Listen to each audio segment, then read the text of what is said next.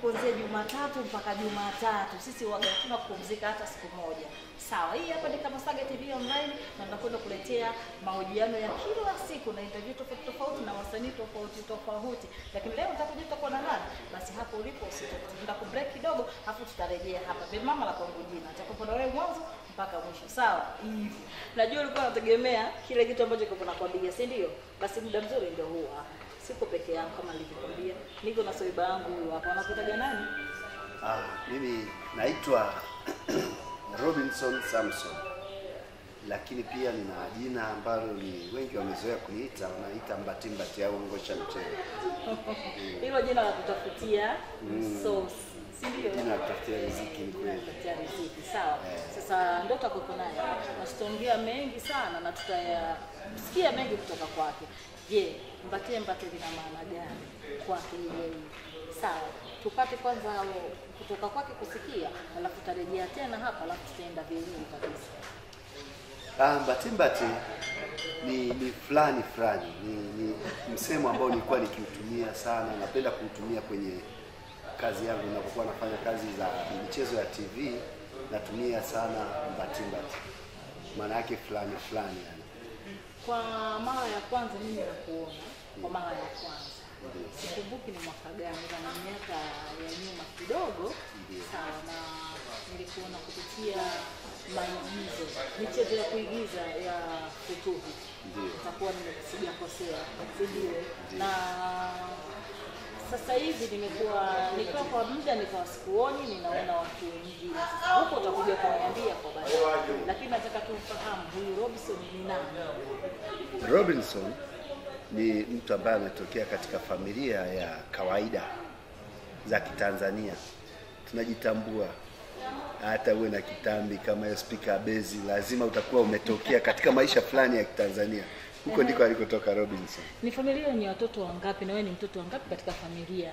Aa, mama alituzaa sisi, tulikuwa watoto wawili wa kiume na wa kike wanne. Kwa hiyo ikawa ni familia yetu iliyokamilika. Yenye watoto sita. Ehe, hadi hivi sasa wote tuko hai, waliolewa, tumeoa. Kwa hiyo Ah, una familia? eh, mimi nina mke na watoto wanne, Eh? mm, Mm. na mke na watoto wanne. Ufanye mchezo. Ha? Wa kike na wa kiume au wa kike peke yake? Najua kesi ya kwenu nyewe mnakimbiliaga nyumbani, unasema tu anaangalia ukutani. Mimi siangalii ukutani, ikiwa ni mimi nafanya kazi yangu hasa, ile kutoa nyumbani, wewe lazima ukubali. Basi sawa. Lakini nataka kufahamu ilikuwaje kwaje mpaka ukaingia kwenye michezo ya kuigiza? Ah, kuigiza kwa kweli nilipenda sana kufanya michezo mashuleni ya kuigiza, lakini baada ya muda nikaamua kujiunga na vipindi vya redio vinaitwa Jiweke Sawa na Hesawa. Baadaye tukafanya Bismarck Theatre Group, ah, Kasuku Assemble Group, Bismarck Theatre Group ambayo mpaka leo ukisikiliza Radio Free inaruka. Lakini ilitokea baada ya kuwa ninapenda sana kuwatazama wazee wangu ambao ni tuseme wakina mzee Jongo Mungu awarehemu huko aliko, akina mzee mzee mzee nani Jangara na wazee wangu wengine wote, siwezi kuwataja wote, lakini wale walinivuta mimi kufanya sanaa Kwa eh, hiyo kumbe kuna sababu ya wewe kuingia kwenye sanaa, haukuingia hivi hivi. mm, enzi hizo tulikuwa na michezo ya redio. Kwa hiyo ikifika ile michezo unasikiliza kweli, hasa pale pale ndipo nilipopenda mimi sanaa. Mm, Na familia yako ilichukuliaje wewe kuingia kwenye sanaa?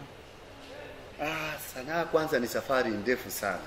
Nimweleze tu mtazamaji kwamba sanaa ni safari ndefu ambayo mafanikio yake huwa ni magumu, hayaji papo hapo. Ni wachache sana wanaofanikiwa kupitia hivyo. Sasa kwa hiyo kwanza familia inakuchukulia kama mtu ambaye umeiasi, kwa sababu hufanyi kazi nyingi za kuingiza kipato, badala yake unakuwa kama vile mbabaishaji. Sasa hali hiyo huwa inawafanya ina, ina, jamii kuona kama muuni muuni fulani, lakini ndo hivyo, ndo mwanzo wenyewe wa sanaa hasa. Ni kitu gani cha kwanza ulichokifanya watu wakafurahi na kusema da, kweli mshikaji tunamhitaji? Ah, nafurahi sana tulikuwa tukifanya ile michezo ya jiweke sawa na hesawa, lakini ambacho kilikuja kunivuta hata mimi na kuna nini sana, tulianza kutengeneza michezo ya bunge tukiwa redioni. ile michezo nilikuwa nikisikiliza mimi na naipenda, lakini pia hali kadhalika matangazo mbalimbali ya redio ya kibiashara. Kwa mfano, niliwahi kufanya tangazo moja la tinga eh, nilisema nani kanipigia jembe langu? Nyamaza mwanangu Rashidi Kara Mrasa Musa. Kwa hiyo ilifanya kwa namna fulani jinsi nilivyomsifu yule mtoto, kweli kuonekana kama ni mtoto wa kweli lakini nimefanya vitu vingi vya kufurahisha. Ninaanga, nimefanya siri ya mtungi, ninajisifia kufanya kazi na kampuni kubwa hizo za Marekani. Ni kampuni ambazo kuingia pale ni msoto. Aha, mi nataka nicheke na si sio mimi tu, eti wote kucheka. Najua anataka kucheka, hebu tufanye basi tucheke. Mi nataka tucheke.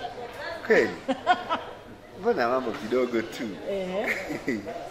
Sasa wewe mpati hii, kwani ilikuwa shini kitoko tu ana, kwani ilikuwa na mshongota sasa hapa, ilikuwa tunaongea tu mama mboga hapa ka biashara wana eh, ilikuwa kidogo ni utani, lakini najua kamoyo kake kamenitondokea na mimi kimekatondokea eh, ni hayo.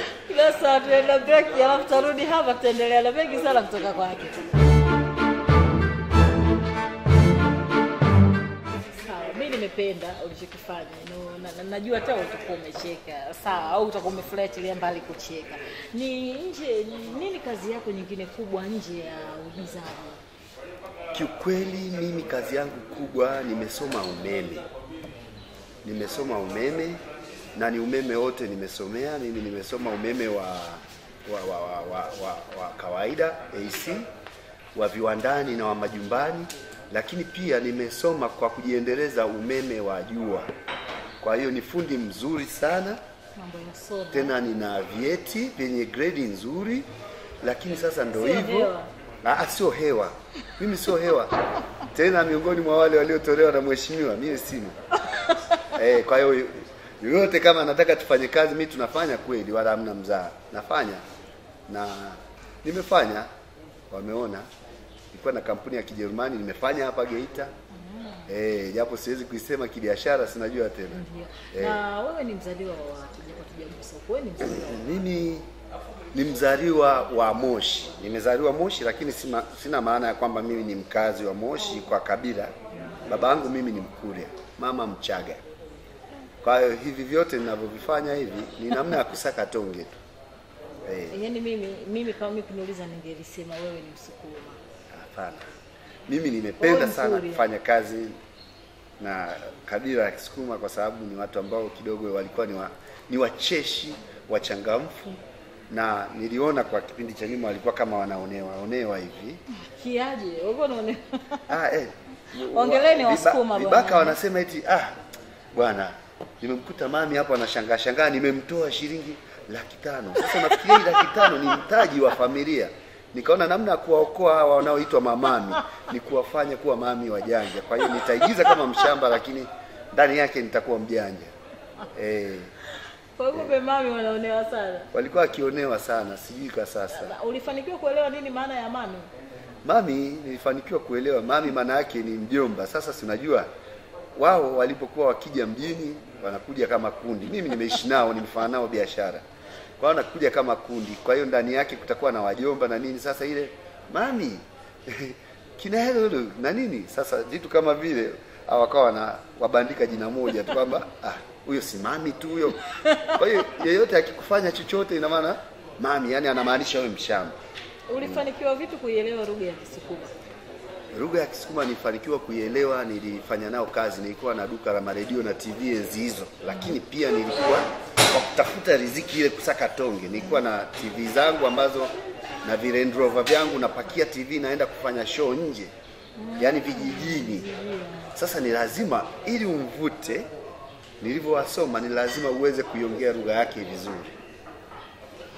E, kwa hiyo nilijaribu kuwa na jaribu kujifunza, nikajifunza kwa mapadri fulani walikuwepo sehemu moja inaitwa parokia ya Buhingo, nikajifunza, walikuwa wanafundisha Kisukuma, kwa hiyo nikajua vizuri kidogo kiasi fulani, nikawa sihangaiki, kwa nikawa na weza Una uwezo mzuri tu wa kuzungumza lugha hiyo. na uwezo mzuri, na si Kisukuma tu, na uwezo mzuri wa lugha nyingi tu.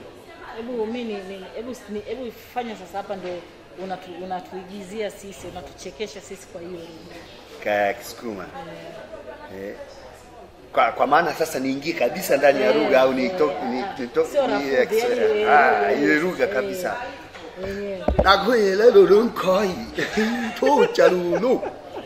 아다시간에 멍걸로는 거의 아니 들어와 야 부르감 비티 아린 비티에는 키르고 키보자로로 내는 놈이 차례 얘기를 아리 루루인 비티 한 앞에 끼기. 가시나 간 거의. 까리 홍아 망어보 halo ba kia monko yo thai ki ki shana ho ha khola le si se ki ki i kwi thula na yin ke le tu so la yo le no me lo mi cha len khoi da so na cha ne lo lo ne le chu san ham po no cha o mi cha na ngo ko nu ma o lu ba la ki ni khoi wa le o bi phya he wa e su lu ba le to ta ma ni ka ko kwa no ko na yo bi ke kho lo lu